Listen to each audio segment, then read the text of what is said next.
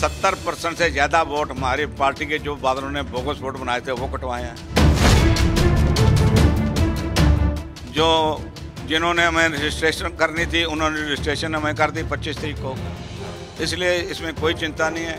हम श्रोमणी अकाली दल दिल्ली के नाम के ऊपर, कार के चोर निशान के ऊपर अपनी चोर लड़े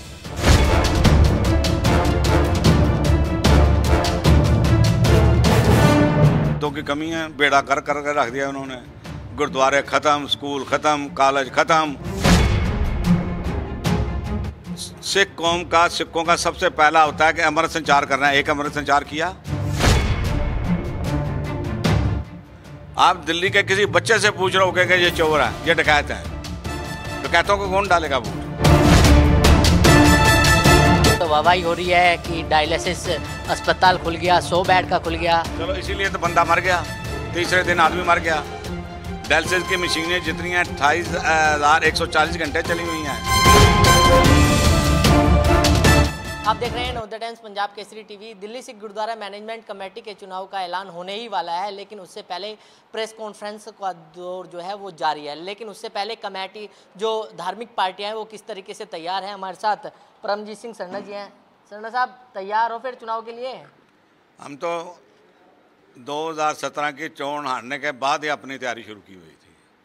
हम तब से चार साल से तैयारी कर रहे हैं और पिछले एक साल से सबसे ज़्यादा वोट हमारी पार्टी के मेंबरों ने बनाया है। सत्तर परसेंट वोट हमारी पार्टी के मेंबरों ने बनाया है। सत्तर परसेंट से ज़्यादा वोट हमारी पार्टी के जो बादलों ने बोगस वोट बनाए थे, वो कटवाए हैं। हमारे वर्कर दिन रात लगे हुए थे इस काम के लिए।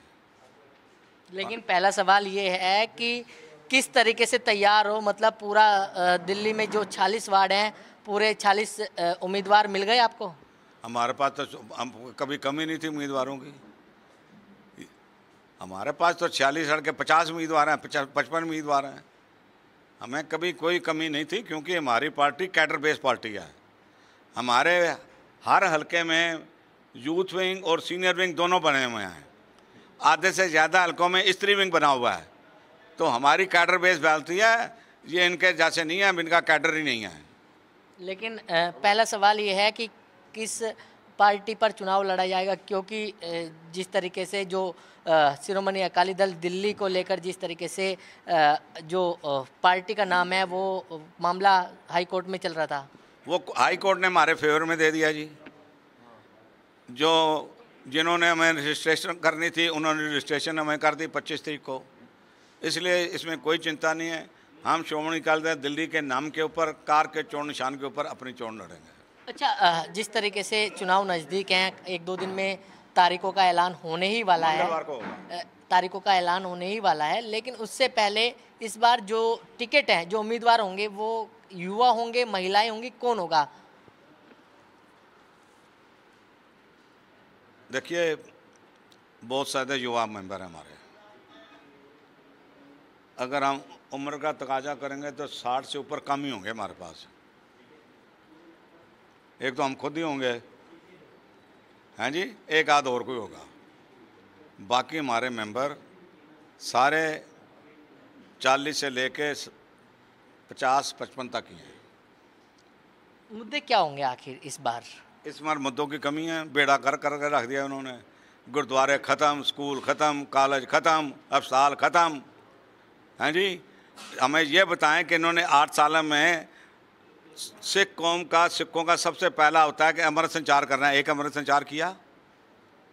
गुरुद्वारे में पिछले आठ साल से ये ये जो इतिहासक गुरुद्वारे हैं, यहाँ संगत मांगने आती है।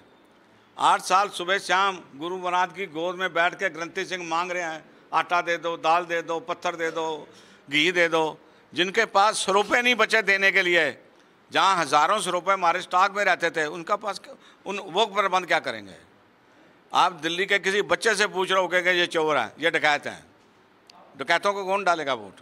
लेकिन वो तो कह रहे हैं कि लॉकडाउन में जिस तरीके से वाहवाही हुई लोगों को खाना खिलाया। ठीक बात है।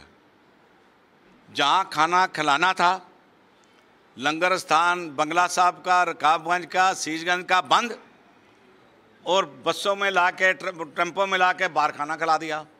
जो मर्यादा थी गुरुद्वारों की, वो तो ख़त्म कर दी। हैं जी? तो लंगर खिलाने का क्या है? लंगर की जो बात बताऊँ, अकबर बादशाह गुरु अमरदास को मिलने आया था। तो उन्होंने कहा था, पहले लंगर छक, फिर मेरे से मिलियो। तो यहाँ तो ये है कि जब वहाँ लंगर ही नहीं है तो गुरु को मिलने के लिए क्या जाएँगे? चलो दिल्ली के सिख तो दिल्ली से ही आते हैं, चल जाते हैं, जो बाहर से आएँगे, उनको इन्होंने भूखा रखा। ना सुबह चाय, ना दिन को प्रसादे, और प्रसादे बन रहे हैं, कहते हैं, नहीं तुम ये बंद है। वहाँ जाके जाओ। यहाँ से दस किलोमीटर वहाँ बांटेंगे, वहाँ देंगे। ये अपनी राजनीतिक रोटियाँ सेकने के लिए उन लोगों के पास हैं, जहाँ ये इलेक्शन, पोलिटिकल इलेक्शन लड़ते हैं, वहाँ ये गए हैं। संगत के लिए नहीं गए हैं। लेकिन अब तो वाहवाही हो रही है कि डायलिसिस अस्पताल खुल गया सौ बेड का खुल गया। चलो इसीलिए तो बंदा मर गया तीसरे दिन आदमी मर गया। डायलिसिस की मशीनें जितनी हैं अट्ठाईस हज़ार एक सौ चालीस घंटे चली हुई हैं। इसके बारे में और नहीं कुछ कहूँगा। ये अपने आप अपने दबाव में मर जाएँगे। अच्छा किसानों को छुड़ाया जा रहा है जो किसान जेल में बंद हो गए थे उनकी अब बेल कराई जा रही है। देखिए जी पहली बात तो ये है कि इनको बोलो कि एक वकील मेरे को बता दे इनका जिसने किसानों की बेल कराई हो। ये झूठ और कुफर तोलने में माहिर हैं इनको बोलने दो। जब हम आएँगे इन सब की जो है पूरी रिहाई कराएँगे किसानों की सरकार से। और गुरु की ओट आसरा से लेके कह रहे हैं सारे केस खत्म कराएँगे। किस तरीके से आपका जो विजन है वो रहने वाला है? किस किस के बारे में? दिल्ली कमेटी के चुनाव में किस तरीके से विजन रहने वाला है आपका? ये विजन में सात अप्रैल को अपना मैनिफेस्टो आपके पास रिलीज़ करेंगे। उससे पहले नहीं आपको बताऊँगा। लेकिन टीचरों के लिए क्योंकि लगातार टीचर स्ट्राइक पे जाती रही है।